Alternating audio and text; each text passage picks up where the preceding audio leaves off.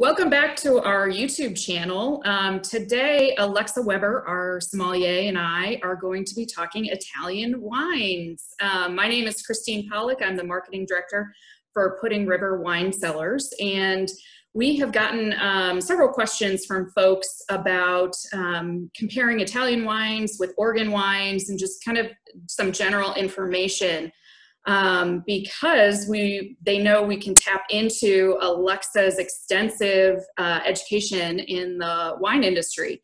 Um, so Alexa, just to kick things off um, for this session, why don't you describe some of your background? Um, we know you're a certified sommelier and you have um, other education in the Italian um, uh, wines. so why don't you give us an overview of your background? Sure. just to kind of sum up uh, uh, now almost 15 year wine career. Um, I kind of fell in love with wine working for a small retail shop in Eastern Oregon um, in between college. At some point, I fell in love with French wine, and that um, led me on a trajectory to uh, not only explore the wines of France, but also at some point move there for a year during um, uh, during school to study, uh, drink French wine, eat French food.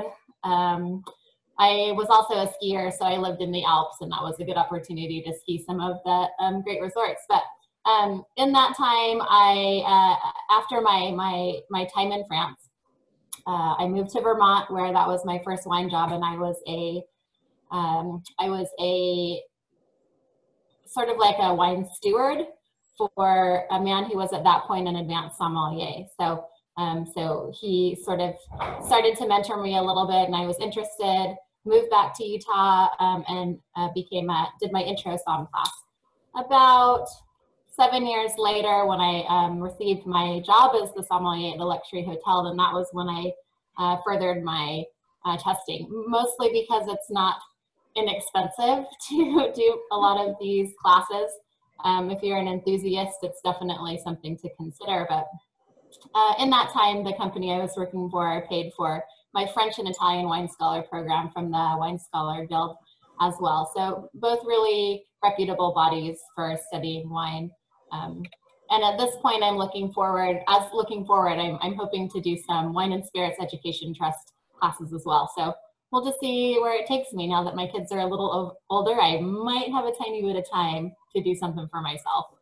Yeah, that's awesome. What a career. Uh, so, getting into Italian wines um, more, um, you know, there are numerous uh, varietals and it's kind of overwhelming um, for the American consumer. Can you give us um, a general overview of some characteristics of the popular varietals and wine growing regions in Italy? Oh, well, that depends on who you ask. But yes, Italy is kind of a daunting um, wine country, and and not only because region to region it can be very specific, right? Culin- um, culinary wise and wine wise, but there are rumors that there are over 2,000 grape varieties just in Italy alone, right? Wow. So a lot of these haven't necessarily been documented, but there are vineyards that are growing on the hillsides in small towns that may be some obscure varietal that's been grown there for thousands of years, right? since Etruscan times. So it's a really unique and diverse region. Um, I think what people are probably most familiar with, what they know, right, Chianti, obviously, which for those of you that don't know is the Sangiovese grape. Um, Pinot Grigio, I mean, Italy is the home. And although it's grown all over the country, the best examples are from the Northeast, uh, around Veneto and the Friuli region. Uh, and then the Super Tuscan movement, right? And that was something that happened in the 80s where the Italians were like, hey, we need to break the rules. Um, the Italian Ministry of Agriculture, just like the Ministry of Agriculture in France, is very strict about how they can label what goes into it, um, which is kind of similar to Oregon, right? We have some of the strictest wine laws in the country here. So it's really just to preserve purity of place, and that's very important for the Italians. Yeah. So speaking of some of those well-known, you know, Chianti, Super Tuscan. So if I'm standing in front of my uh, wine store aisle or grocery store aisle, and I have a ton of Italian wines in front of me, um, how do you how do you go about pairing them with food? I mean, we always think of Italy is pasta, which is Chianti. But can you give us uh, some suggestions of pairings? Sure. Well, one thing to consider um, about pairing Italian wine with food is the Italians are great at it, right? I mean, they they make wine to go with food. Food was their food is their initial component. Wine comes secondary. So the wines of Italy are often um, high acid, low alcohol, meant to be consumed with lots of different foods. And if you're really interested, then you start thinking about the cuisine of a particular region because each part of Italy has very specific, um, typical cuisine, and they make the wines to go with the food there. So um, a good example, a good example would be Nebbiolo, which is a grape that's grown in the Piedmont, uh, which makes the wines Barolo and Barbaresco. You can also find it in um, labeled varietally Nebbiolo, um, but they also grow a lot of truffles there. So, mm-hmm. and mushrooms. So you think about um, risottos or pastas with truffles, or even if you had a steak with a with some shaved truffle on it.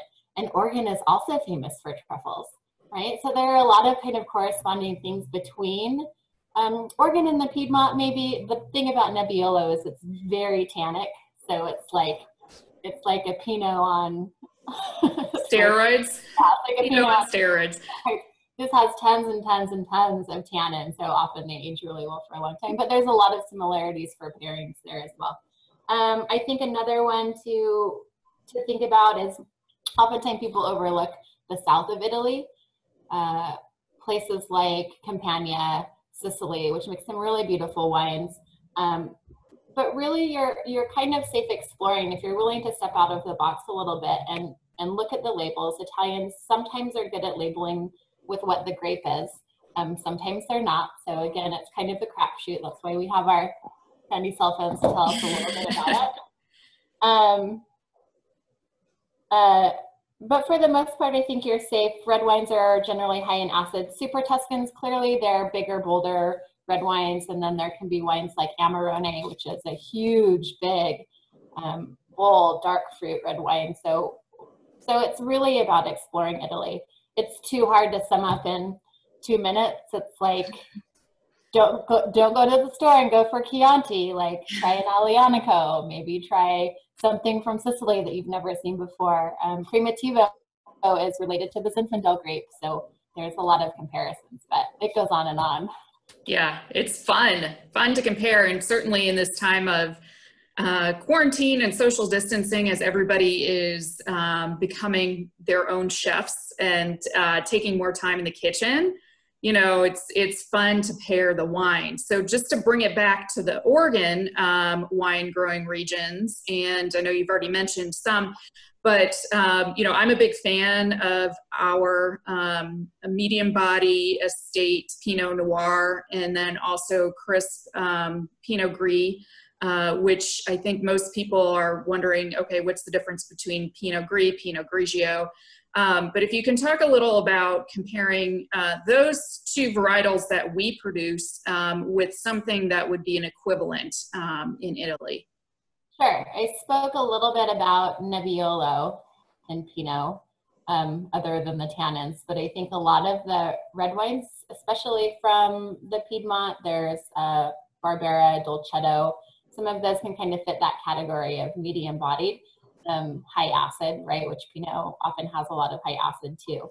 Um, I think another place to look if you're into that style, and, and these are, they're some of my favorite regions too, because I also really enjoy that style. If you go south to Sicily, um, if you see a wine labeled Etna, Etna DOC, that means it comes from the slopes of Mount Etna. And those are generally, they're called the Barolo of the South right? So it's kind of that medium bodied structured tannic, really aromatic and floral. They can be made in lots of different styles, but they're really nice. And that's um, Nerello Mascalese and Nerello Cappuccio are generally the grapes. Um, Montepulciano d'Abruzzo, one of my favorite all-time red wines. It's inexpensive, it's good, it pairs with lots of food. That actually comes from the um, east side of Italy. And it's kind of a more fruit forward. And there's lots of styles emerging now, right? Because we're so into tasting new wines and trying new things. That there's lots of Italian wines that were unheard of, you know, five or 10 years ago that are now coming on the scene. Uh, as far as white wines and Pinot Grigio, I would highly recommend seeking out some white wines from Campania. Um, mm. They are beautifully floral, crisp, delicate. Uh, Campania is also the, ho- the home of uh, Naples, right? Napoli, which is the birthplace of pizza. So think about their red wines, which is uh, sometimes Aglianico based, are great with pizza, but the whites are floral and delicate. I'm speaking to Falanghina, uh, Fiano di Avellino, and Greco di Tufo, which are some of my all-time favorite white wines. So that's a thought. So I was supposed to go to Italy um, in May and obviously need to reschedule the trip, but I will work, live vicariously through these suggestions you just gave. well, that's what we do though, right? That's why wine is so fun because it's like, well, I can't be there, but I can drink a wine from there and pretend. yeah, and pretend. I mean, you can't go wrong with drinking Prosecco and eating gelato every day either. Right. That Italian feel. Absolutely. Yeah, and you just reviewed um, on another video our Cuvée Blanc, which kind of has that same relaxing, sit outside feel as you get from uh, Prosecco to just a great drinking summer, you know, late spring wine. Uh, yeah. Um, so before I let Alexa go, uh, just want to remind um, all of you to continue to send us questions, and we'll do more of these Q&A sessions. Um, Send us uh, your questions at info at puddingriver.com. And we have uh, just revamped our online store. It's up and running. Um, we're going to be expanding uh, this, the list of states that we can ship to, but certainly check it out. Um, and hope to do another session soon with Alexa and then also our winemaker, Sean Allen. So look for a future session, the three of us, about Pinot Noir. So Thanks, Alexa. Thanks, Take care.